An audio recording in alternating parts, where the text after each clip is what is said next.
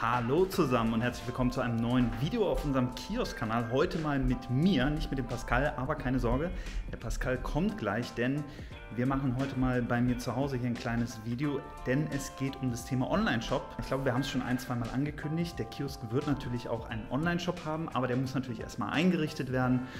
Und da gibt es wie bei allem in Deutschland eine Menge zu beachten, vor allem rechtliches. Und das Ganze mache ich mit dem Pascal heute. Und er hat mir, glaube ich, was mitgebracht, wenn er denn gleich hoffentlich kommt. Hello. Moinsen, alles fit? Alles fit. Sehr schön. Hereinspaziert. Was geht ab? Wir machen heute Online-Shop. Ja, ich freue mich. Mal gucken, was du vorbereitet hast. Ich bin sehr gespannt. So, wie ihr seht, Pascal hat was mitgebracht und zwar ist das von. Marvin, das sind seine Versandkartons für seine Kanalmitgliedschaftsboxen. Ah ja, sehr und gut. die brauchen wir natürlich auch für den Online-Shop. Und äh, da müssen wir mal gucken, ob die Größe so passt, weil äh, wir haben natürlich ein paar Produkte vorbereitet, die da rein müssen. Aber wir schauen uns das einmal ganz kurz an. Wie geht denn das hier? Meine. Ah ja. So. So. So sieht das dann aus. Da ist Perfekt. jetzt der Marvin drauf, aber da kommt Genau. noch das Kiosk-Logo drauf. Da machen wir den Kiosk drauf. Ah, das sieht richtig gut aus. Das wird hier dann zugeklebt ne? und dann zum Aufreißen, wie man es kennt. Wissen die Leute denn überhaupt schon, warum Online-Shop und was es da gibt und alles? Ich glaube nicht. Ja. Ich glaube nicht. Ich glaube, da müssen wir das mal erzählen. Ja, Leute, also natürlich, wie jeder gute YouTube-Kanal und wie jeder gute Einzelhändler bekommt auch äh, der Kiosk natürlich einen Online-Shop. Und das geht ja heute alles super, super einfach.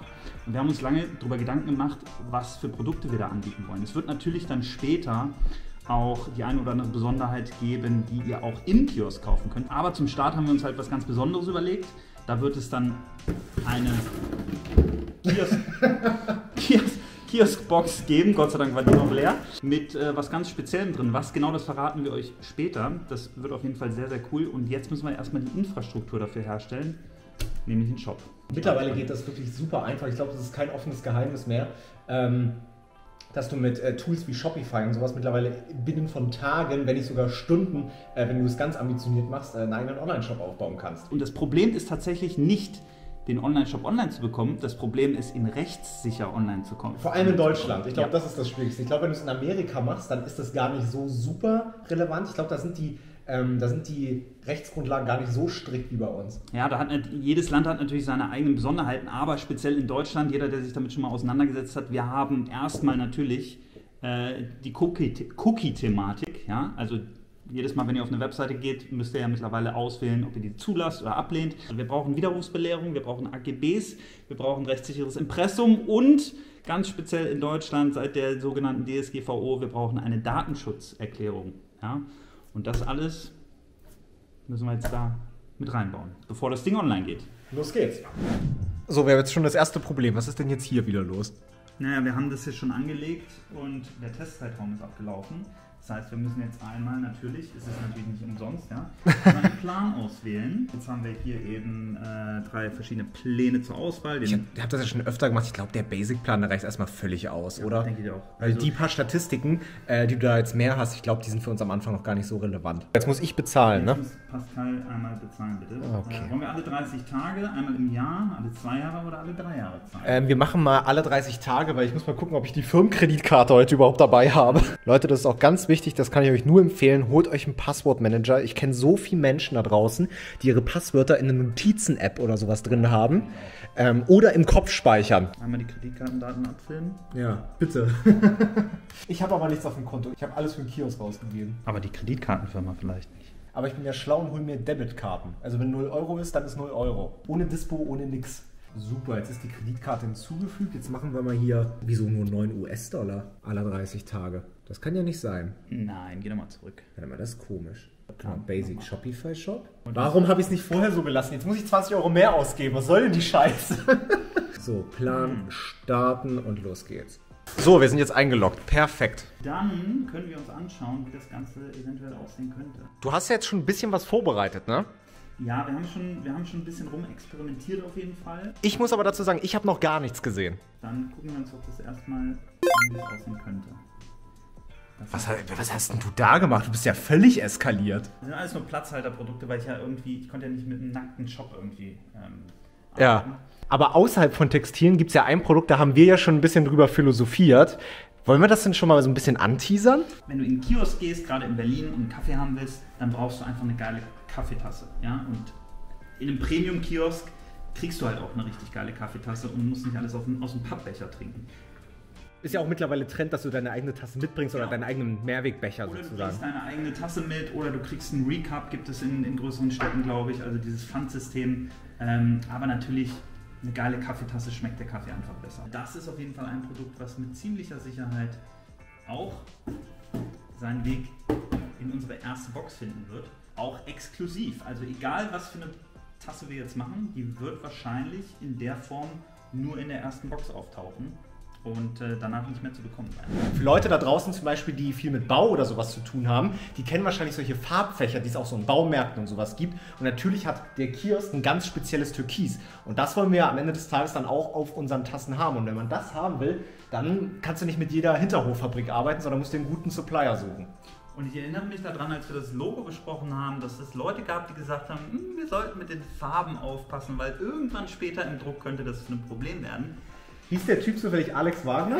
Nee, es war nicht nur ich. So, jetzt haben wir natürlich schon viel über Tassen geredet, aber wir wollen sie euch natürlich auch mal zeigen. Wir haben jetzt nämlich mal hier drei Entwürfe fertig gemacht und ich bin der Meinung, wir machen mal eine kleine Abstimmung. Welche von den drei Designs euch am besten gefallen? Wir packen dann am Ende des Tages noch in die Videobeschreibung einen Link. Da könnt ihr an einer kleinen Umfrage teilnehmen und gebt doch einfach mal Feedback, welche Tasse ihr persönlich am besten findet. Das würde uns, glaube ich, auch sehr weiterhelfen. Also schau mal, das sind die Entwürfe, die wir gerade haben. Äh, einmal das Kiosk Blau natürlich, ne? das ist genau der Pantone-Wert hier. Und das hier ist, finde ich, etwas, die, fast schon die exklusivere Variante. Das ist nämlich die gravierte Variante, also quasi eine weiße Porzellantasse mit dem Kiosk-Logo eingraviert.